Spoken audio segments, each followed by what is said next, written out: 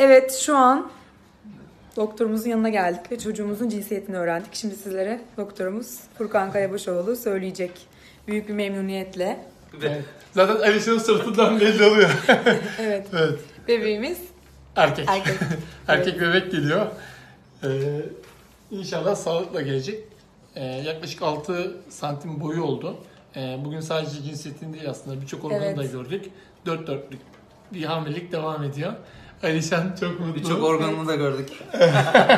Evet. Adını da siz söyleyin. Adını da söyleyelim mi? Evet adını da doktorumuz Peki. söylesin. İsmi de Burak olacak inşallah. Evet. Allah'ın izniyle. Evet.